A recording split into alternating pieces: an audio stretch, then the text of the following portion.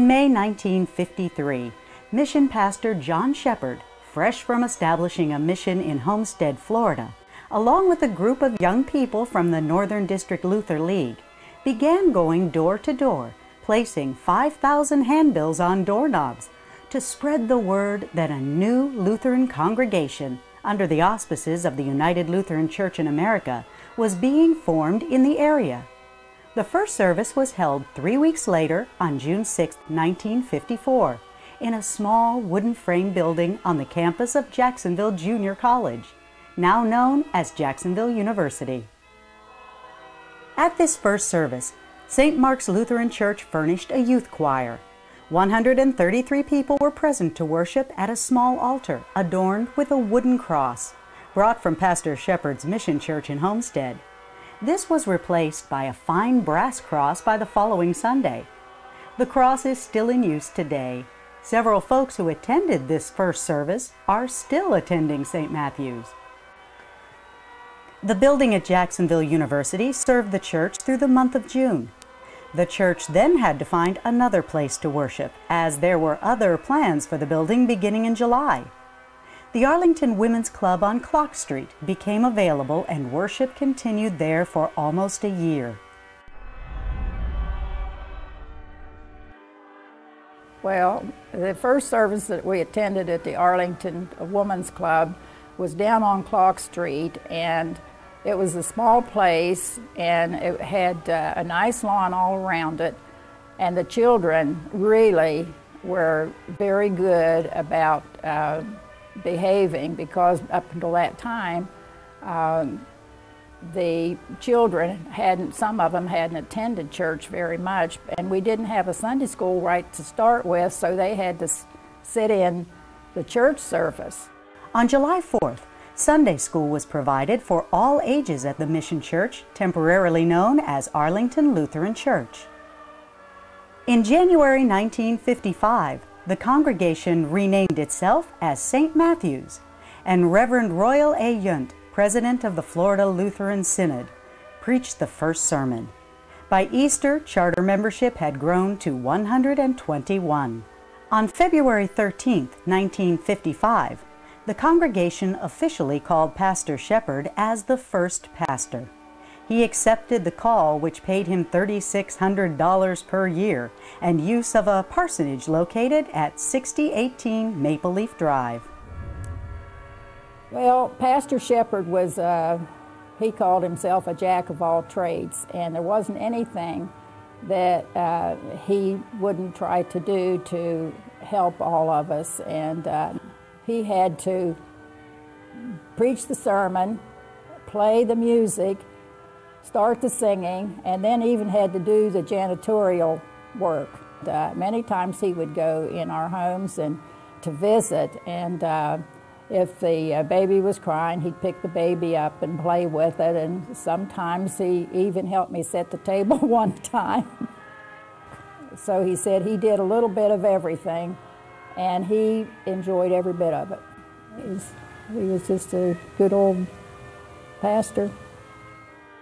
Another move for the growing congregation occurred in November 1958 when the church moved to the Hardage Funeral Chapel located at 5540 Arlington Road. This property is now the home of the American Lung Association. Also at that time, beautiful music filled the air with the purchase of a new Wurlitzer organ.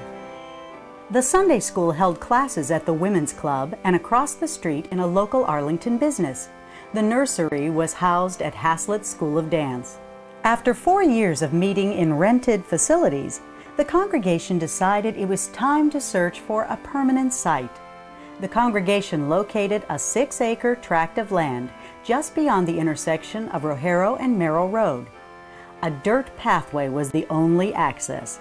However, this was only a minor obstacle because growth was inevitable in this area since Arlington had become more accessible with the building of the Matthews Bridge. Back then, the Merrill Road area was woods from Lake Lucina School eastward. Nothing but woods. As a matter of fact, there were only two or three houses that were constructed here at that time across Merrill Road from this church. Uh, mine was one of them. Whenever the Matthews Bridge opened, it allowed the people of Arlington to commute to and from their employment in downtown Jacksonville in relatively half the time that it normally took otherwise traveling by way of Atlantic Boulevard. It opened up a new era for the people in Arlington as well as the churches in Arlington, particularly St. Matthew's Lutheran Church. With the influx of people moving into the area, we began to increase our membership and bring into the church a lot of people who've seen the growth of St. Matthew's mature and culminate into what it is today. The congregation held a groundbreaking in June 1959. The first unit was planned as a 7,350 square foot chapel, seating 300, and Sunday school wing costing an estimated $150,000. The buildings also housed offices, Sunday school rooms, a social hall, a kitchen, and nursery. The congregation expected to be in their new church in six months. Well, we were so crowded down in uh, the funeral home that we had had our service in uh, after we left Cox Street that when we found out the day that we were going to be able to come into our own building, we just were so delighted and we couldn't wait to start our service. Sure enough, six months later, on January 3, 1960, the congregation held its first service in the new facility. On that day, 356 people attended, 45 new members joined, and eight children were baptized. Pastor Shepard continued to lead St. Matthew's until his retirement in 1965. Pastor Shannon Hugus was installed in 1966. During his tenure, St. Matthew's paid its entire benevolence to Synod for the first time. Pews replaced the folding chairs in the chapel. New to some of the faithful were the kneelers attached to the pews. This took some getting used to, but the tradition has remained, and each Sunday we have our regimen of exercise along with our prayers.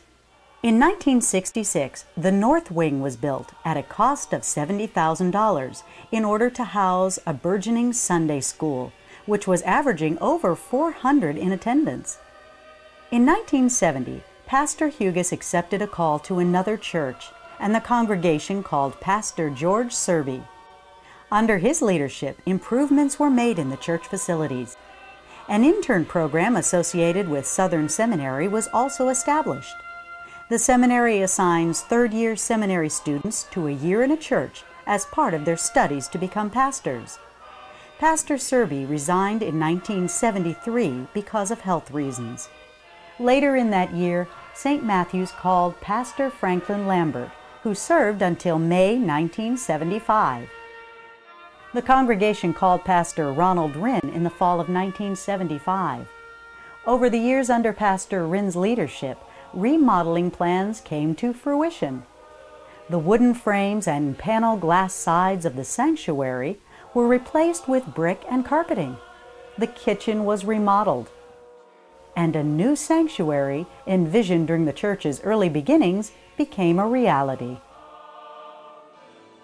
In February 1989, Pastor Rinn accepted a call to another Lutheran church in North Carolina. Pastor William White became pastor of St. Matthew's in 1989. Other staff people were added. In 1990, Harlan Teskey accepted a call to be Minister of Youth and Education, and Virginia Black came on board as Minister of Music. New opportunities in education, worship, and music opened up for the congregation. Handbell choirs for all ages were organized, and the youth and children's choirs offered musical plays and concerts several times during the year. Virginia Barnes, a previous intern who had left a lasting impression on the congregation, was called in 1996 as associate pastor. In 1997, Pastor White accepted a call to South Florida, and Pastor Barnes guided the church through the next call process. Pastor David Imhoff was called to St. Matthew's in 1998. The congregation again began to see new possibilities for evangelism and growth in our community of faith. In 2000, Pastor Barnes received a call to become a pastor of a Lutheran church in Ormond Beach. Pastor Mark Schlenker joined St. Matthew's as associate pastor in 2002. Along with the usual pastoral duties, Pastor Mark is very involved with the youth programs and family ministries. Also in 2002, the men's group decided to refurbish the Shepherd Fellowship Hall, including the old kitchen. The addition of new lighting and bright new paint transformed what was once a rather dark area into a popular gathering spot. In August 2003, a group of interested parents began a preschool called the Early Learning Center. It has grown to near capacity in a short period of time. In the fall of 2003, the men's group sponsored a drive for furnishing the Jackson Family Life Center, the Fellowship Hall, and new South Wing with new tables and chairs. New choir robes were purchased in memory of Lester Sanders and dedicated in April 2004.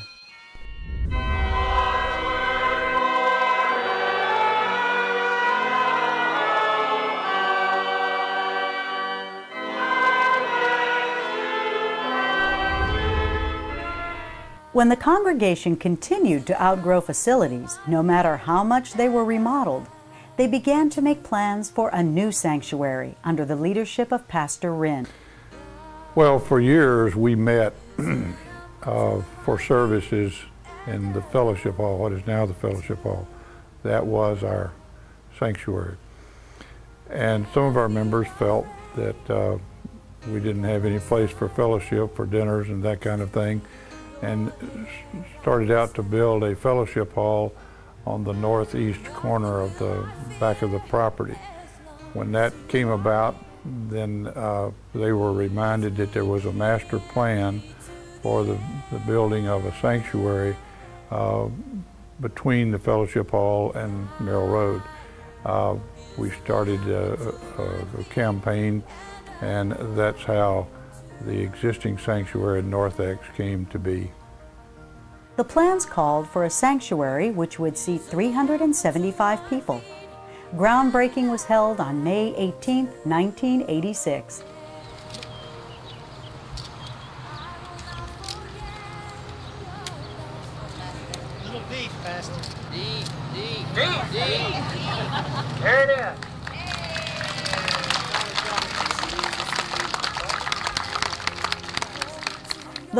Included a narthex enclosed by stained glass windows, a cry room, a robing room for acolytes, crucifers, and people assisting in the services, a media room to house the sound and video equipment, and a room for altar paraments and communion preparation.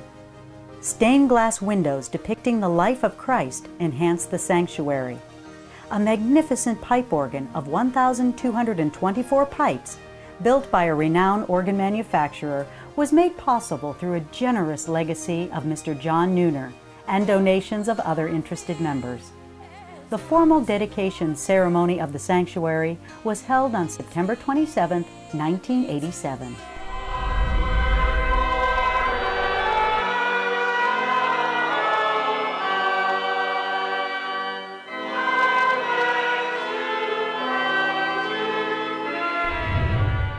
Well, you know, we was discussing uh, one day, a group of us men sitting around talking, and the subject came up that we needed uh, more space, space for the youth and uh, to carry on church activities, basketball, dinners, parties, and things like that.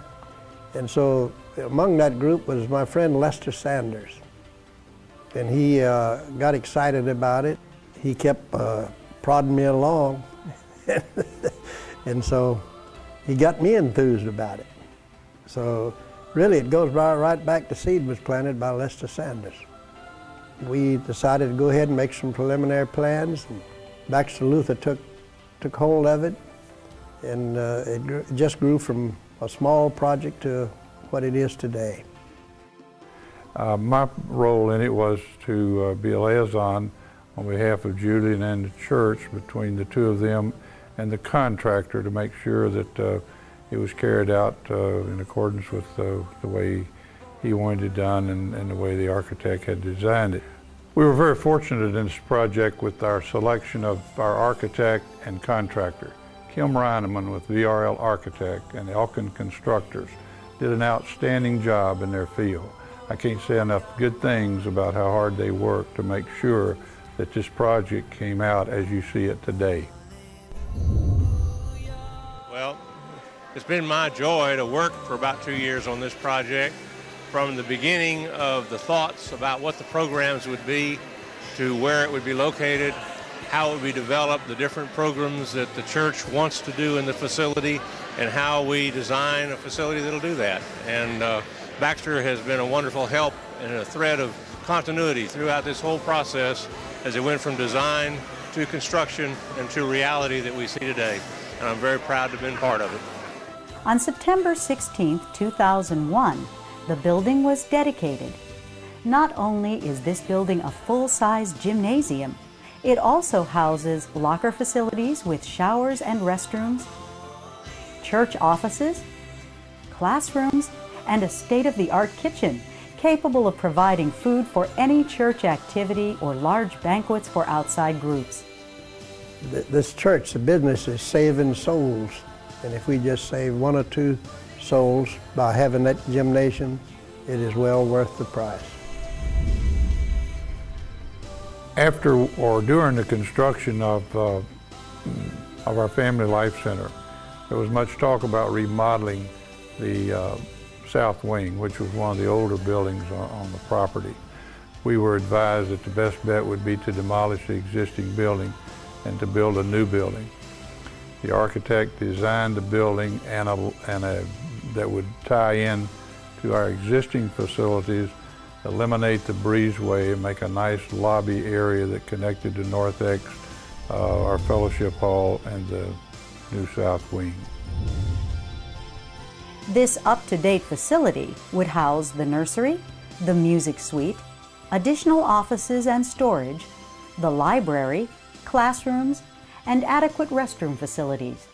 In addition, a gathering area was built to link all buildings together in a more visually pleasing manner.